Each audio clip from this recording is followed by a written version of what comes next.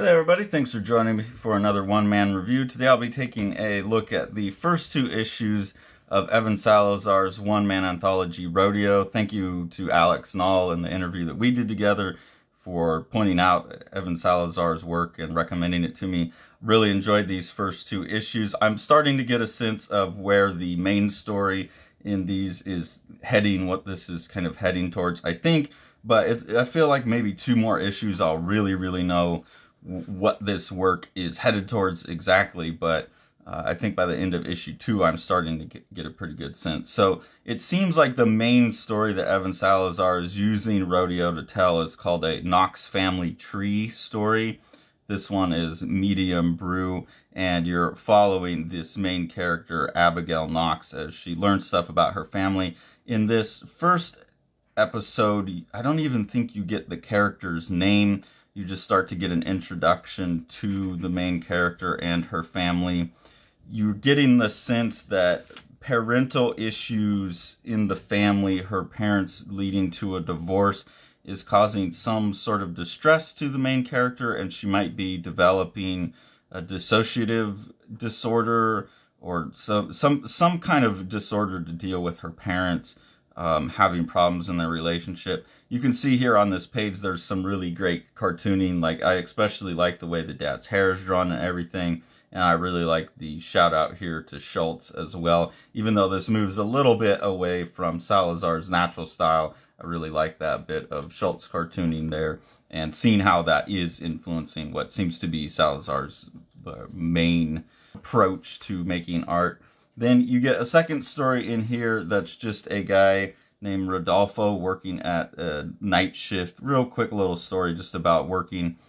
You get the sense that maybe this is a character that's either going to get his own story off to the side or is going to play a bigger part in the Knox family tree story as you go. That's why I'm saying I'm not quite sure because this is a one-man anthology if some of these things are just Evan Salazar like doing this is just a short comic idea he has and he's just getting that out or if this is part of a bigger tapestry since that seems to be something that's in the air in the self-published world lately or at least the stuff that I'm running into where people are building larger stories out of smaller self-contained stories.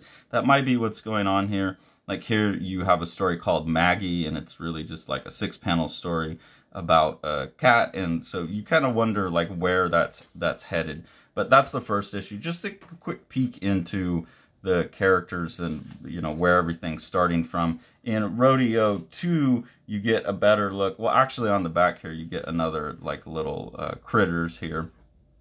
But in issue 2, you get a larger sense, especially of this Knox family tree storyline developing.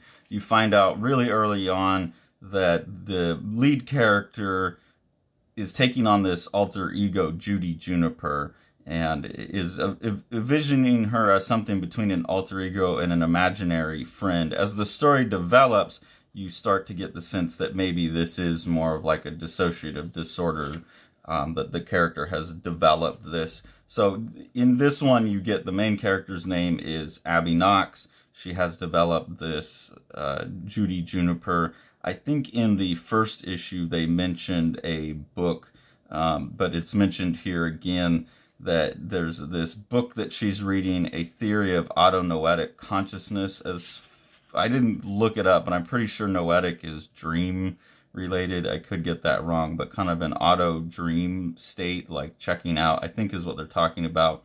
And they're talking about the genetic history of this as well as you know how how life situation can impact that. You get a couple different short stories in here that are all like related to that same narrative but they have they're they're like chapters but they can function as their own stories.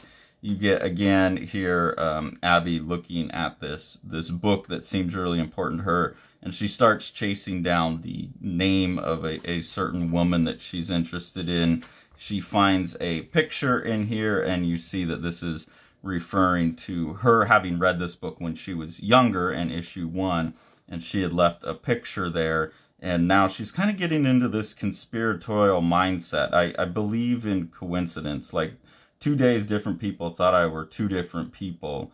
Or when I found out that my parents' new dog had the same birthday as me. So you start to get a sense that maybe there's like a schizophrenia, some kind of paranoid mind state that she's entering into. Obviously now in issue one, she was a child. Here she is grown up.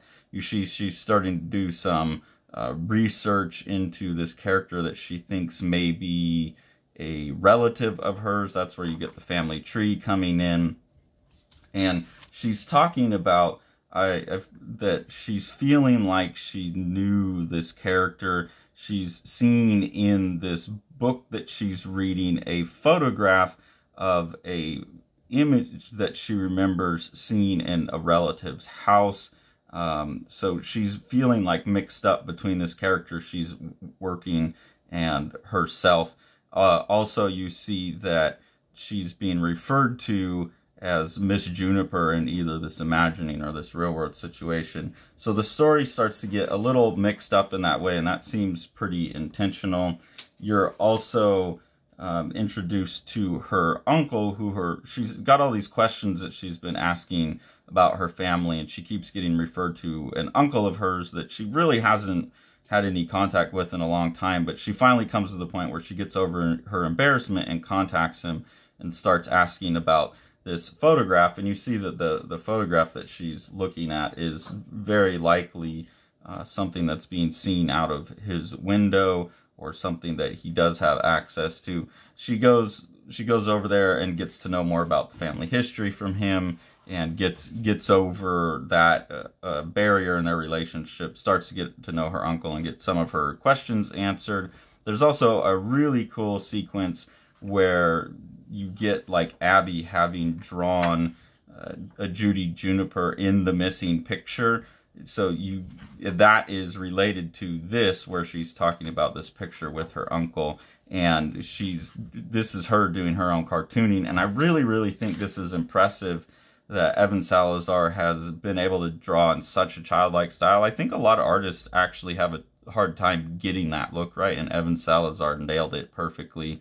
And then here there's some more evidence of like a dissociative disorder or something developing in Abigail and Judy Juniper says we can be we can only be in the picture or in real life, not both. I don't know what to pick. So she's having some kind of desire to move into this state before things went wrong with her family or potentially that she was dissociating into the picture during moments when fights were going on with her family or something like that. That's the sense I get of of what's going on in here, but it's not 100% clear yet because we're only two issues in. And then you have what I think is also pretty cool where the character has like an emotional memory. Um, it's not having a real pictorial memory but she's referencing a mood that was described when the parents would argue in issue one, saying, uh, I fell asleep and dreamt of a small island obscured by fog. That's a feeling that she describes in the first issue about, like, oh, it feels like a small island obscured by fog, re- referring to how she felt at the time. So I think that's a really interesting idea that someone's not remembering a picture or something particular, but is remembering an emotion or a mood that they had experienced. So there's just a lot of real depth, observational depth about humanity, a really kind of cool structure here where there's these different pieces and the, you're kind of going through the mystery with the character. Really enjoy it, really hooked into it. I think that is a, a very cool structure. Then here at the end, you get another like short story this one is about a, um, a someone getting a digital camera and filming movies and getting kicked out for that. So that seems like pretty self-contained, but again, you you don't know. And then a nice little illustration, uh, letters page, and illustration on the back. So really enjoy this. Really hooked into the story. Not exactly sure 100% how to assess it yet because I don't think it's far enough along. But my other than to say that it's so far it's going really great and I'm hooked and and I want to know more. So everyone, definitely do yourself a favor, run out and grab these issues of Rodeo before they're out. These are self-published things. They don't have a, a, you know how how many there are in, in addition on this but I'm assuming this isn't something that will be around for a huge amount of time. This is the second printing, so at least Evan's reprinting it. But it also seems like with the size difference, the reprints are probably going to be smaller. I, I don't know, but I'm assuming the first printing was larger like this. Because uh, other than that, maybe it's just, you know, as his audience grows, he can go bigger. But there's obviously a size discrepancy, so I'm not sure. Anyways, really good material, really compelling. I think this is going to go on to be one of those things that a lot of people follow for a lot of years, and then, like, you know, five years, ten years from now, someone's going to collect the Knox family tree story and it's going to be a big deal. Finally, we can all get it. So get it now and follow it while it goes. Uh, I think it will really be worth it. The Exile by Erik Kriek is a gorgeously illustrated Viking saga of revenge. Erik Kriek calls it his Viking Western. It's about a, a guy who's been away on the, the warpath and is returning home um, to uh, some family troubles that have to be resolved and this is told in just this amazing like kind of three color art style that looks like old woodblock cuts or something. It's absolutely gorgeous book that you've got to pick up.